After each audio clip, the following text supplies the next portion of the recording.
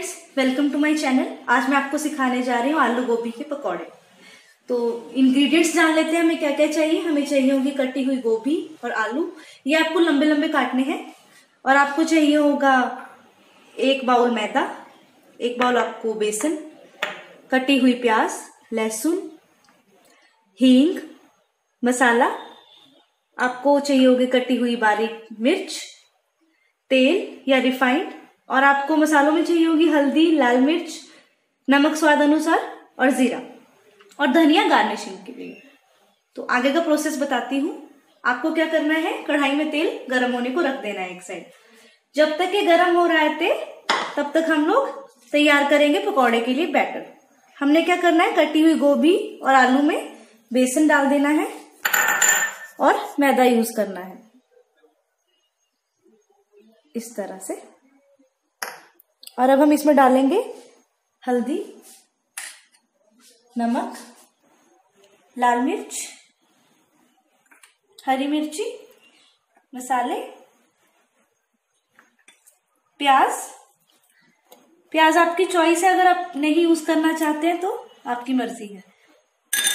और लहसुन, कटे हुए और जीरा।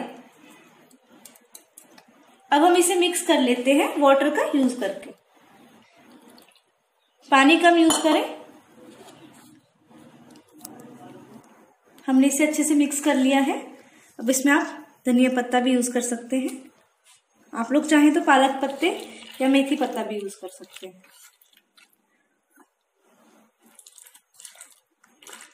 अब हम चेक कर लेते हैं कि तेल गर्म हो गया है या नहीं।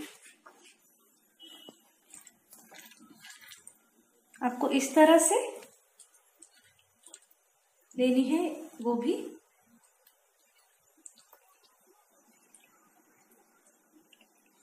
इस तरह से तलने को आपको डाल देना है।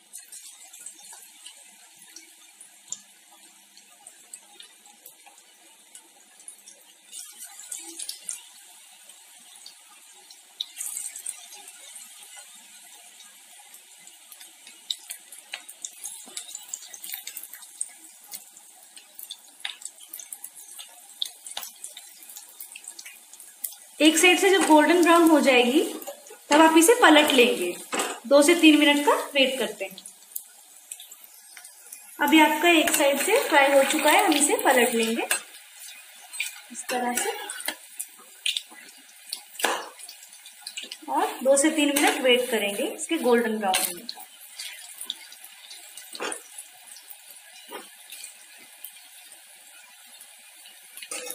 गोभी के कच्चे रहने के चांसेस ज़्यादा होते हैं, इसलिए चाहे तो आप स्लो गैस पे भी पका सकते हैं। वेट करते हैं दो से तीन मिनट अभी पक चुके हैं दोनों साइड से। आइए इन्हें सर्व कर लेते हैं।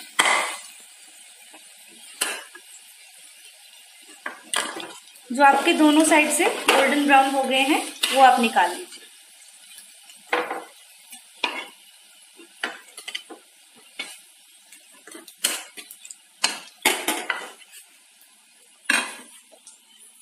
ये देखिए आपके गोभी के पकौड़े बिल्कुल तैयार हैं।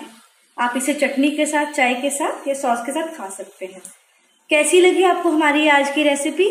कमेंट बॉक्स में ज़रूर लिखें। लाइक, शेयर, सब्सक्राइब करना ना भूलें। Thank you so much.